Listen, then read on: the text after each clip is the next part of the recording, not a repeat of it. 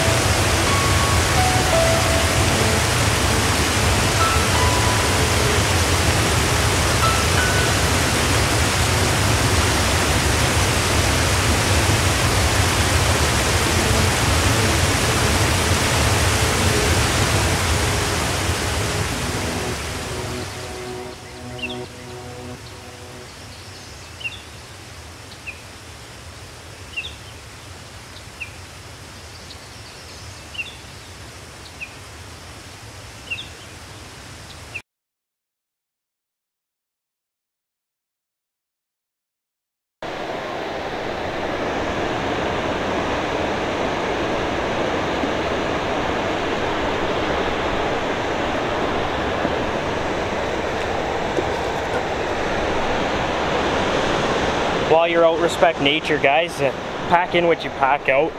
Try and leave it nice for everybody else. There's garbage facilities provided out here. There's really no reason for that.